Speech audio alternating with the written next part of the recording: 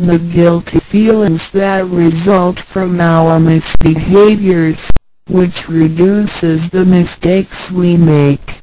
The practicing Tao can accommodate our worldly affairs. The fulfillment of practicing Tao and conscientious awareness does not have to be accomplished in a temple or church. It is not required to abandon worldly belongings or relationships in order to attain the ultimate truth.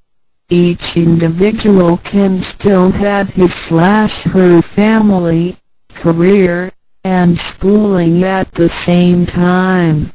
As long as we keep in mind the basic guideline we should have our practicing Tao and getting closer to our divine self.